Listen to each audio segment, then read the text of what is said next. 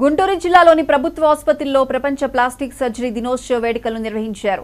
ఈ సందర్భంగా సర్జరీ విభాగం హెచ్ఓడి డాక్టర్ సునీత శంకర్తో కలిసి సూపరింటెండెంట్ డాక్టర్ కిరణ్ కుమార్ కేక్ను కట్ చేశారు. జీజీహెచ్లో ఉచిత ప్లాస్టిక్ శస్త్రచికిత్స శిబిరాన్ని నిర్వహిస్తున్నట్లు ప్రభుత్వ ఆసుపత్రి సూపరింటెండెంట్ కిరణ్ కుమార్ తెలిపారు. ఇరవై నాలుగు గంటలు ప్రభుత్వ వైద్యులు అందరికీ అందుబాటులో ఉండి విధులు నిర్వహిస్తారని చెప్పారు.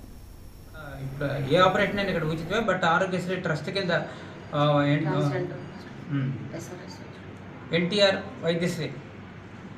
అది ఆ ట్రస్ట్ కింద ఈ ఆపరేషన్ అన్ని కూడా చేయడం జరుగుతూ ఉంది.